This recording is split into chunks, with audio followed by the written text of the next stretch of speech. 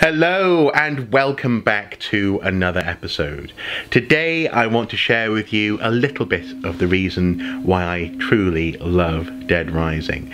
Uh, this game was uh, possibly a launch title, uh, certainly a very early title released on the Xbox 360.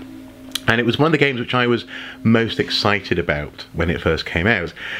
Partly because, uh, I don't know, it's made by Capcom and they obviously have a certain pedigree when it comes to zombie games, uh, especially for example Resident Evil, um, but also partly because actually of the technical specifications. There was a big a big deal was made about this game and its uh, its its on-screen uh, yeah the on-screen mass of zombies, uh, the horde, and the sheer number of, of uh, essentially polygons on on screen at one time. Um, and of course, there's the fun element. So here we have Frank, the hero, and he is uh, currently wearing uh, some sort of snazzy, fashionable gear from a shop in the mall. And also, he's wearing a Mega Man uh, helmet just because, well, uh, why not? Let's see, if, see if I can get it close up. There you go. Mega Man helmet. How cool is that? Uh, the reason I love this game is quite simply that it is, uh, at its best, a free for all. You can uh, approach uh, the task of killing zombies any way that you want, um, so long as you you know you don't get yourself killed. Uh, I love that it is a shopping mall. It reminds me very much of. Uh, there's a mall near us called the Metro Centre, which is, I believe, Europe's largest shopping mall. And uh, and also, of course, this is definitely inspired by Dawn of the Dead, the uh, the Romero uh, classic. And so it, the fact that it, it mixes all this stuff together means that this was this was this was uh, what's the word? It was uh, an inevitable choice. It was irresistible to me in terms of a, a gameplay uh, option. Now I love that, that, for example, you can do things like this. You can put uh, heads, uh, uh, you know, play play heads on zombies. I believe that's a character from Mega Man. Might be wrong there. Um, the fact that you can, for, oh, for, example, use baseball bats. You can, let's see, go into the record store, kind of pick up uh, some CDs. Yeah, let's do that. And let's uh, throw some CDs at, at some unsuspecting zombie. There we go, yes, in the face. And uh, I have to say, the number of times I've played this opening, this is this is very close to the beginning of the game. This opening uh, mall section is probably I can't probably probably couldn't count it easily. Uh, I'm up up to level 43 as you can tell, so I've played through certainly the opening section several times. And the great thing is every time you you you gain um, you gain experience in this game, you keep it on your next playthrough. The bad thing about the game, though, is the time limit. You'll see there that the, uh, currently engaged in a mission called Backup for Brad, and uh, and you, you have this watch which um, Oh, hello, Kent. Oh, not Kent. I hate Kent. Uh, he's a rival photographer. This watch, which you have to stick to. You have a three-day limit, uh, or three-day of in-game uh, time at least limit, uh, to to get the story played. And this that's the downside to Dead Rising, and also actually to be honest, Dead Rising Two is the fact that actually the structure I think in some ways gets in way gets in the way of the fun possibilities of the gameplay. Um, this is one of the reasons why actually I recently uh, purchased Dead Rising Two off the record because in there that you have a, a um, oh bollocks, you have a um, uh, essentially a sandbox mode where there is no time limit. You can just experiment. You can uh, explore. You can find all the secrets. For example, uh, in here there should be a bowling ball. Let's see, where's the bowling ball? There we go. Um, and, I've very much, very much been enjoying that ability to actually have a sandbox mode. Um, because that's something that I wanted from this game. I don't want to have to go and rescue so and so, otherwise I've basically buggered up the story. And then for the rest of those three allotted days, you, you are just wandering around aimlessly, but it feels decidedly aimless. Uh, at least in the sandbox mode of um, of uh, Dead Rising 2 off the record, hey, electric guitar, you can um, you can basically do challenges. You can build up uh, points. You can actually gain uh, expertise. You know, power uh, prestige points they're called. In this game, you gain them for taking photos. So, for example, there's a photo which I gained 33 PP for. Um, but in the uh, the sandbox mode in off the record, you gain it for uh, you know doing challenges like kill a thousand zombies within you know within 30 seconds this kind of thing uh, obviously not probably not a thousand zombies but you know but you know what i mean it's fun and um, that's that's the that's the element of this game which I love the best is is when you are doing the sandbox thing.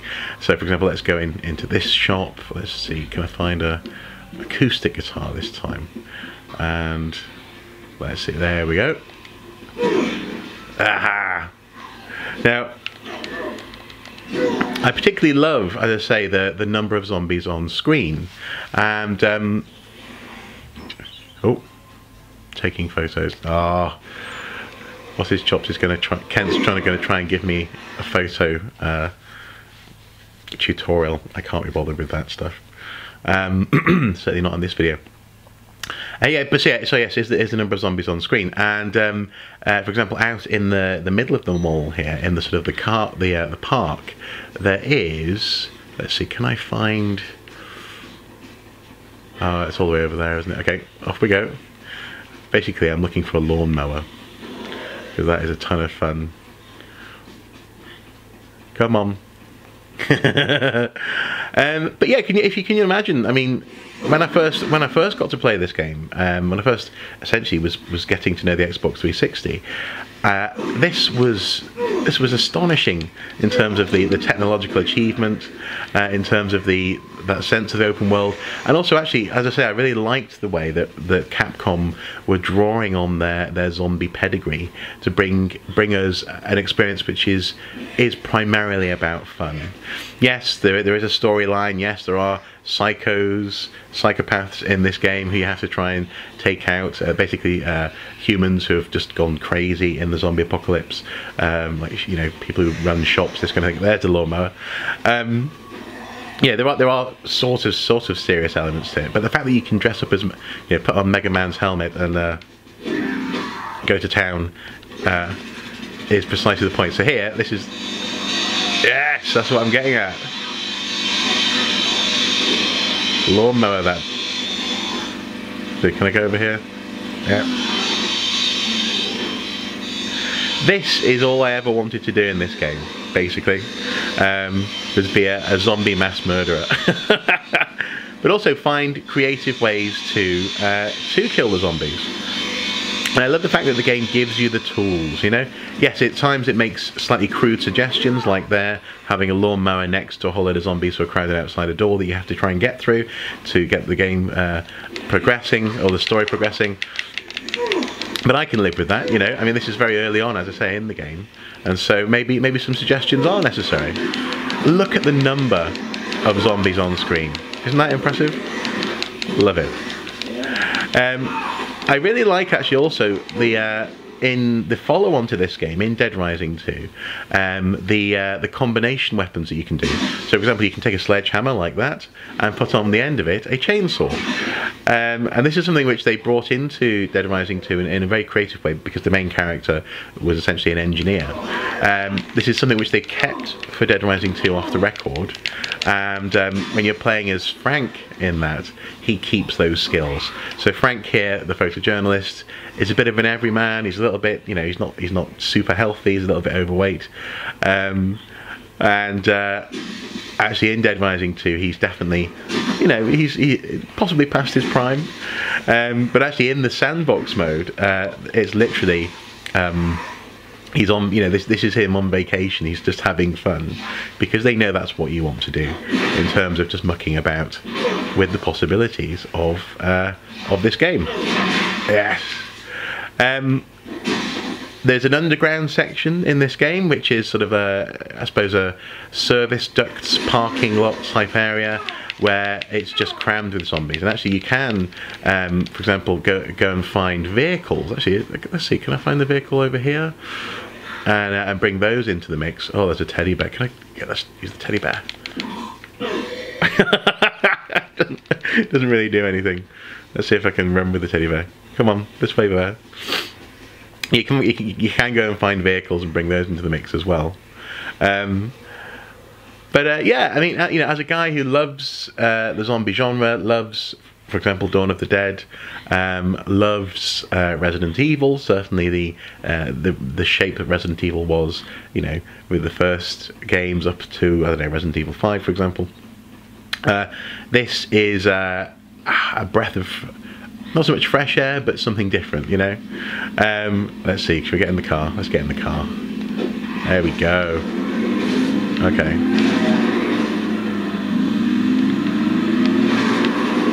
Oh, hit the.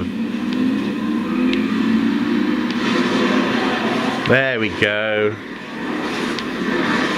And I love the I love the fact that they have spawned a whole load of zombies just for you to. Uh, oh no. Just for you to. Oh, can I reverse? There we go. Just for you to, to run over there. They weren't there when we ran in. But again, the game knows it knows what you want. It knows what you're doing and why you're doing it. Um, and at its best, that's what Dead Rising is. It is a uh, very silly, very fun experience. At its worst, you can see that radio uh, turning up at the bottom there. If I press right, Otis talks to you and gives you essentially little side quests. He says, you know, I've spotted a, uh, for example, here, uh, somebody's barricaded in a women's clothes shop. Go and yeah, go and find them.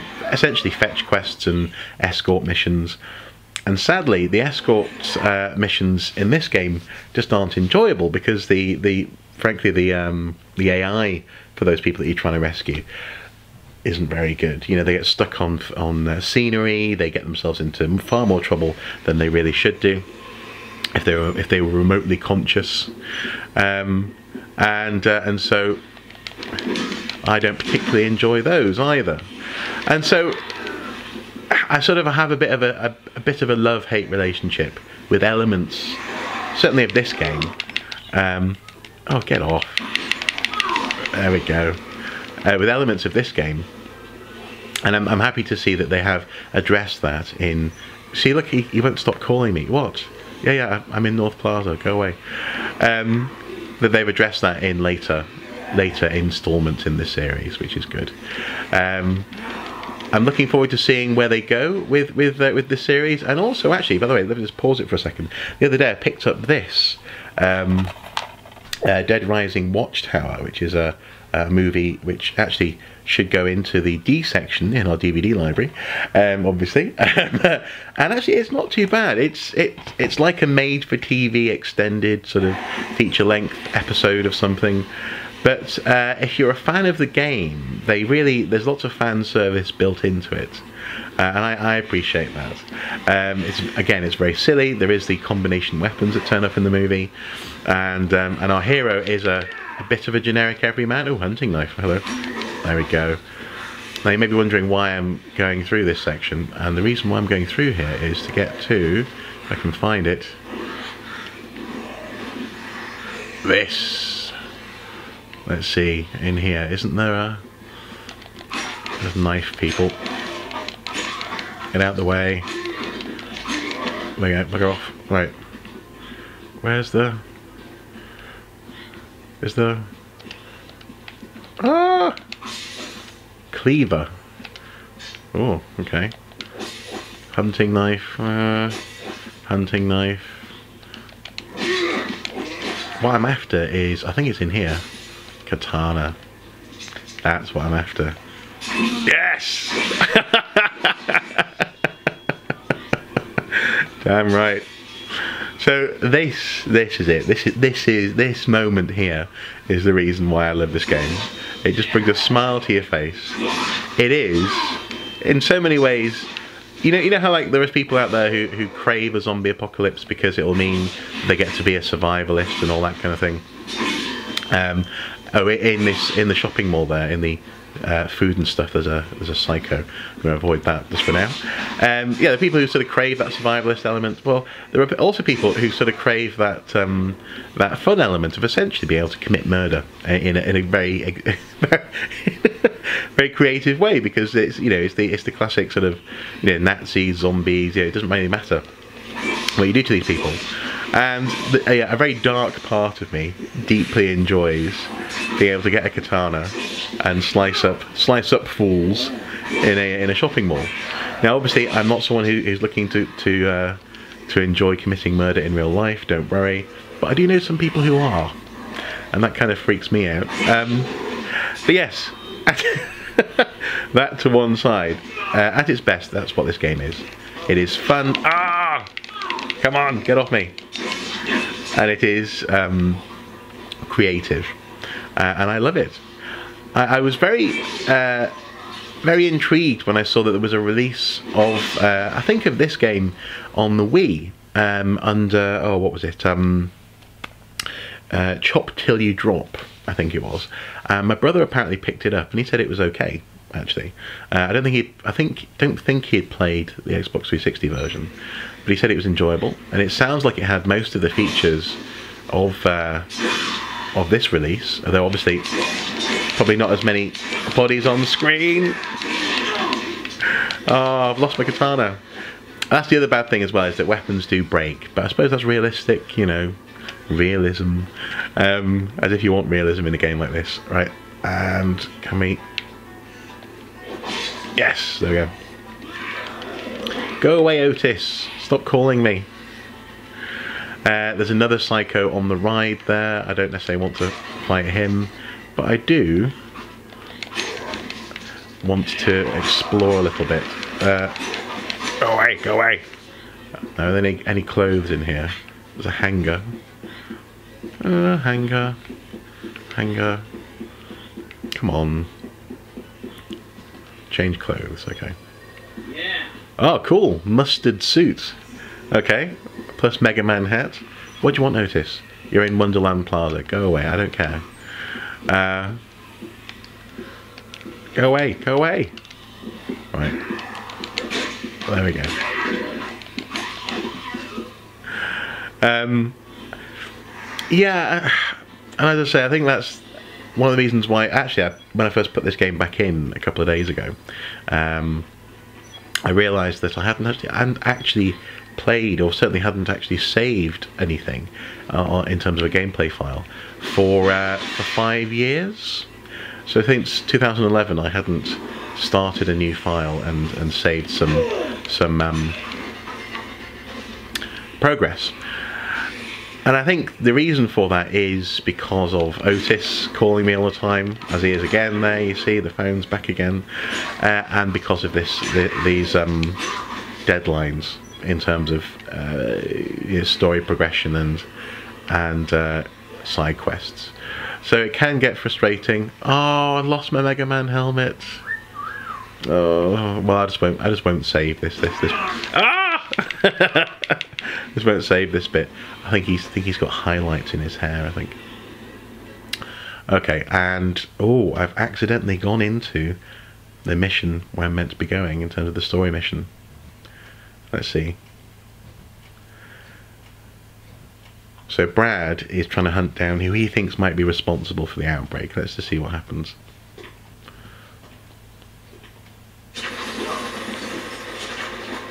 I love that you keep the clothes in the cutscenes. That's quite cool. Here's our key, key mystery man.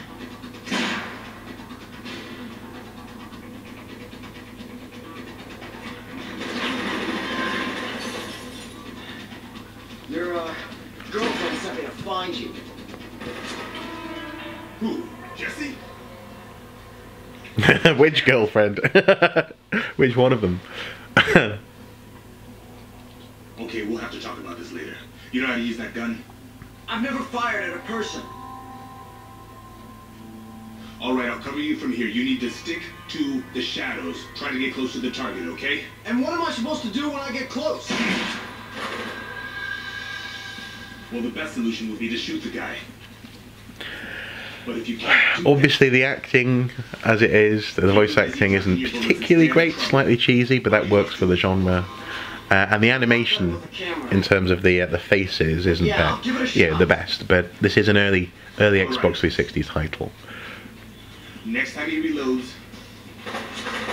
I'll lay down a suppressing fire. I'm counting on you.